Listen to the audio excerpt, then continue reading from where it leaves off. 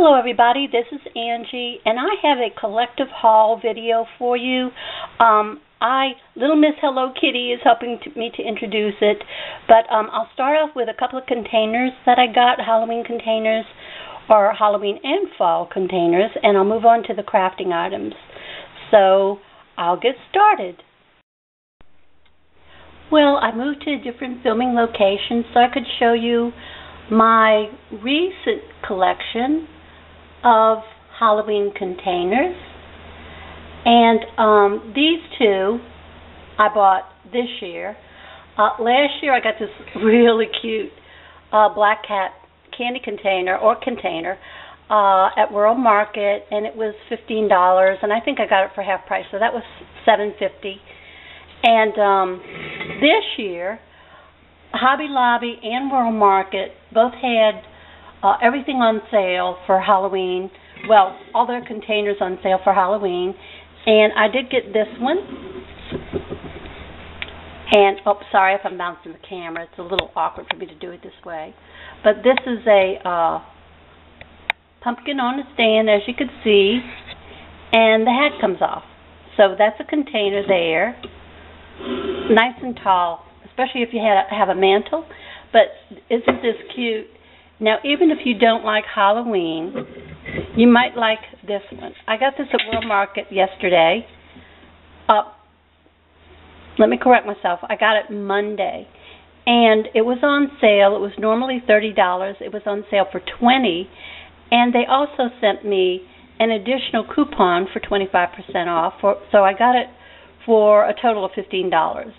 And it's really, really big. Very, very nice so you could put your candy, your bags of candy in there, and they'll really, really hold a lot. And I think it's about eight eight inches tall by seven inches wide, and uh, really makes a, a pretty presentation. So even if you're not into Halloween, if you really like owls, you like lavender because it's a lavender color, or you just like to get something unique. Uh, I found this in World Market, and uh, that's my Halloween container purchases for this this year, and the black cat was last year. So uh,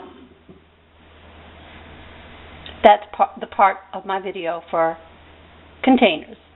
So I will move on.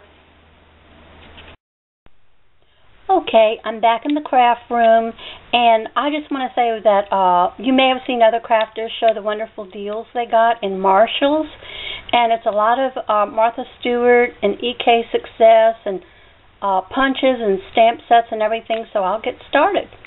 Uh, first of all, I picked up these two packs of uh, Martha Stewart adhesive die cuts, and a lot of these thing, these uh, uh, packages and all are still in the craft stores, but uh, for full price. And I mean, if we want to use a coupon, but uh, these were only a dollar forty nine a pack. Very good uh, die cuts. I love the black cat. And uh, these are pretty elegant looking, so I picked up those two different packs. And then I was so thrilled to get the Martha Stewart uh, punches. And uh, this is a separate spider web. I do have the one that makes the trim, but this is good to punch out that little separate uh, spider web. And this is called a deep edge punch. Uh, the actual edge is quite wide, and that's one of those fold down stamps, which is pretty good. And uh, these were only all the punches were three ninety nine, and I know this one is still in Michaels for eighteen dollars. So wonderful, wonderful deals. And if you're still looking for um, Halloween and you're near a Marshalls or perhaps a TJ Maxx, you might want to check them out because TJ Maxx is under the same company. And um, I did find some stamps, I mean some punches by EK Success and this is a, a pretty good one. I'm trying not to get too much reflection. If you could see that individual little pumpkin. And I've already tried out all these punches and they work well. This one stamps out very, very nice to uh, make your little individual pumpkin embellishments. And uh, again, these are all $3.99.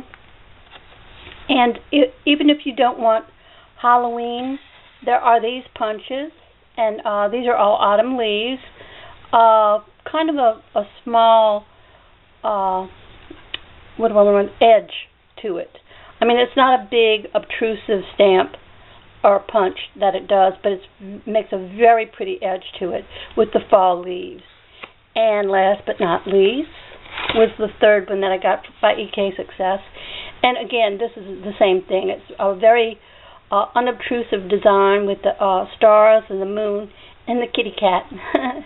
so I really like that one too, uh, because we have two cats, and um, sometimes you hear them when I'm doing videos. They're little scoundrels.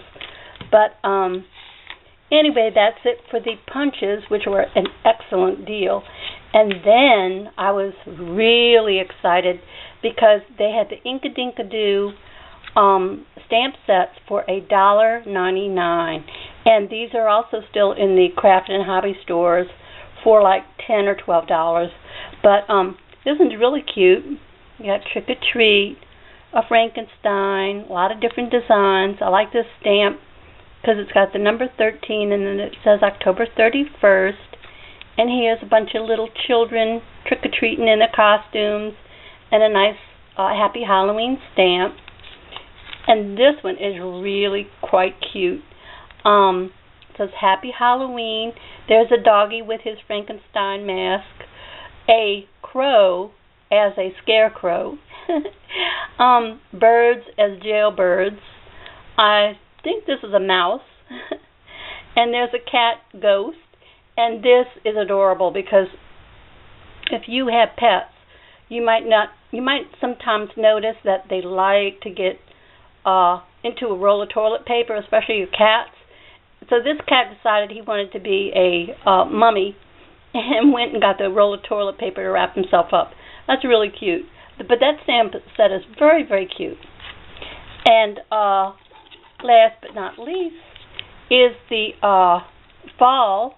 Again, you know, it's not just Halloween, it's the fall um uh stamp set by Inkadinkado.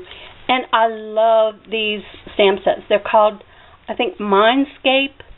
And if you've ever seen these like magic uh kind of drawings as children or, or things, and they tell you to pick out the little magical um, drawings inside of a drawing, and that's what Mindscape is. There are drawings that make up this image, and I don't know if you could see it right there. There's a rabbit. And when you start to look closer, you could see different little things that make up this entire drawing. And um, on this one, that's two. There's a either a goose or a bird in flight that way, a bird in flight that way.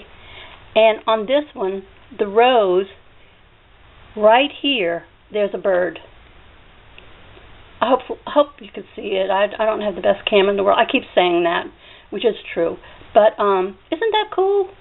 But um, again, if you're not a Halloween person, you still might want to check out for craft supplies because, as I showed you, it's not all Halloween, and the prices are excellent. Uh, so if you're near a uh, Marshalls or a TJ Maxx, check it out. And of course, not not uh, last but not least, had to get the goodies, traditional Halloween candies, and this is by Jelly Belly Company. And their prices in um, Marshalls are always good. I think this was like three or four dollars.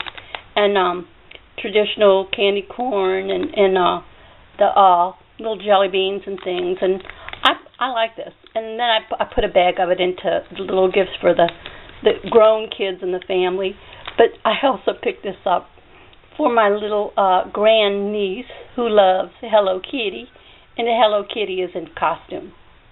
So that's it for my haul and um if you're still looking for Halloween or fall items at good prices, check out your stores because all of them seem to really be trying to get rid of their Halloween uh, items right away, which is very unusual.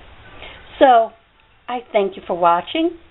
I hope you have a wonderful creative day. Bye now.